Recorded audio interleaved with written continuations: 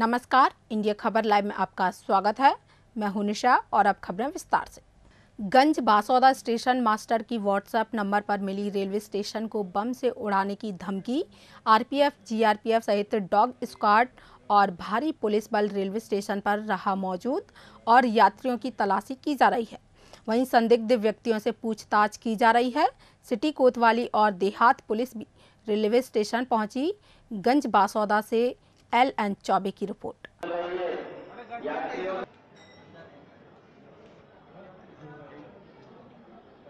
भूतपूर्व फरदा साहब के फ़ोन पर सूचना दी गई थी कि रेलवे स्टेशन का निवास था उड़ाने की बम से।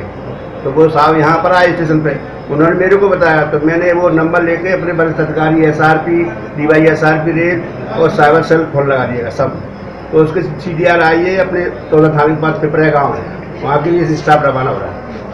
रतलाम ज़िले के डोडर नगर में दिनांक 3 अप्रैल को निर्भय राम पिता भुवान जाति गायरी, निवासी डोडर का एक पक्का मकान हाट बाज़ार भैंसा सरी माता मंदिर के पास अज्ञात कारणों से आग लग गई। मकान के अंदर से धुआँ निकलना शुरू हुआ। ग्राम के पड़ोसियों ने मकान मालिक को और पुलिस चौकी में सूचना दी। एसडीएम ने चावरा से फायर ब्रिगेड गाड़ियाँ भेजी। पुलिस मौके पर उपस्थित हुई। चौकी प्रभारी अनुराग यादव, पुलिस जवानों के साथ नायब तहसीलदार सिही एल टाल पटवारी किशोर मौके पर पहुँचे। फायर लारिया, पिपलौदा चावरा और कंचनारा से छह गाड़ियाँ आईं।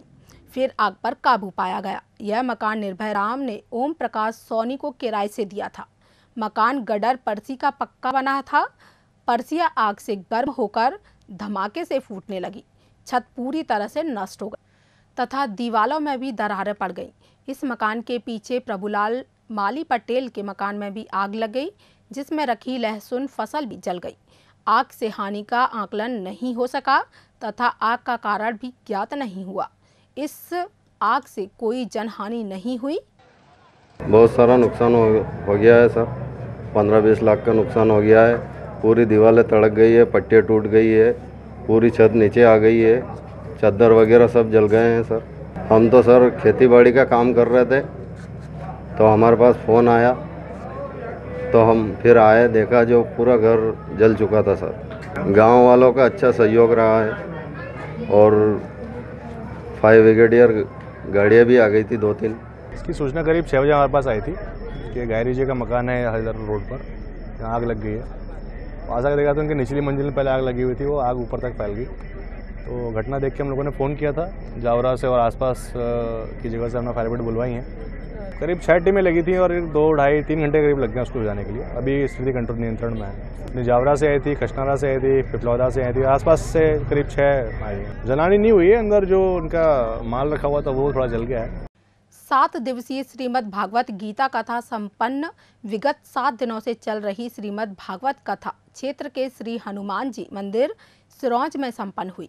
कथा के अंतिम दिन श्री आचार्य आदित्य जी दुबे ने श्री कृष्ण विवाह के साथ श्री कृष्ण सुदामा चरित्र का वर्णन किया और श्री महाराज जी ने बताया कि जीवन में मित्रता श्री कृष्ण और सुदामा की तरह करना चाहिए।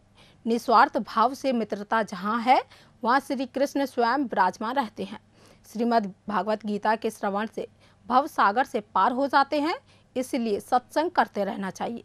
और सभी जीवों पर दया करनी चाहिए। छोटे और बड़ों को समान दृष्टि से देखना चाहिए। कथा के समापन के पश्चात भंडारा प्रसाद वितरण किया गया। गजबा सौदा से एल एन चौबे की रिपोर्ट। और अब हमें दीजिए इजाज़त और आप देखते रहिए इंडिया खबर लाइव। नमस्कार।